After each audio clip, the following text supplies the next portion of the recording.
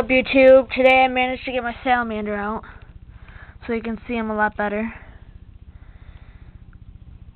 I know I talked about, him a lot last video, but I'm going to talk about him more a little bit this time. And my hands are wet and clean, so he doesn't get any diseases on his body or anything. And the towel right here is very clean too, and very damp, so he's not going to dry up.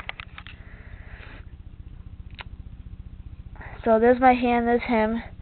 So he's about the size of my hand, stretched out, as you can see.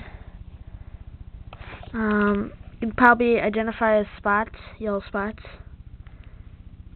Um, he's very slimy and smooth.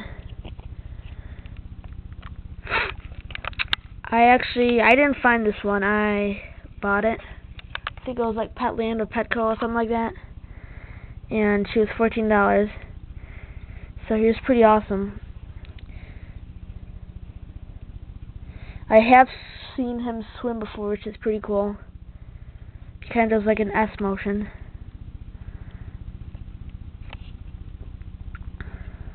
Let's give you a couple minutes, well, a minute to look at him.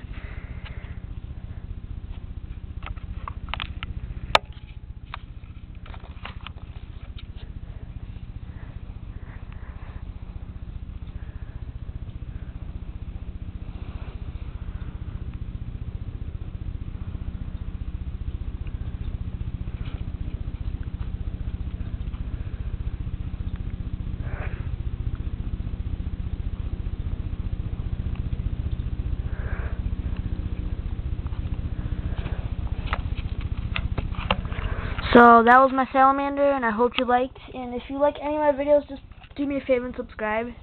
Don't be lazy and just watch my videos. And if you're going to comment bad or rate bad, just don't comment at all, please. And bye.